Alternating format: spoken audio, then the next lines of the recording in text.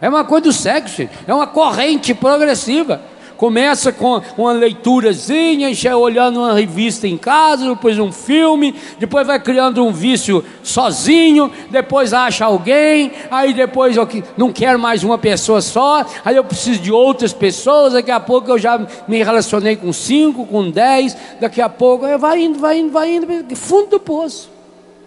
O Davi entrou nessa, estava nessa. Era uma, no caso de Davi aqui é uma contaminação maligna absoluta. Eu não tenho dúvida nenhuma disso. Porque é o demônio que vai articulando.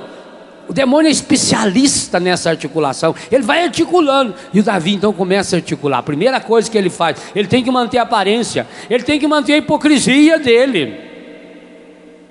Manda chamar Urias.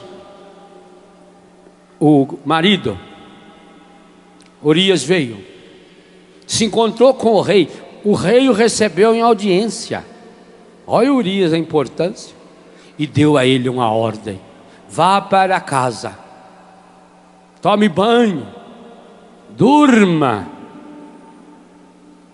Só que Urias não foi.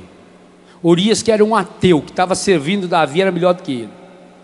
Não foi porque enquanto o povo de Deus estava em guerra, a arca de Deus ficava fora. E imagina um homem que fosse se unir à sua esposa se a arca de Deus está fora do santuário. Ele que era um ateu, pagão, respeitava. Estava a serviço de Davi e respeitava o que Davi não respeitou. Ele não foi.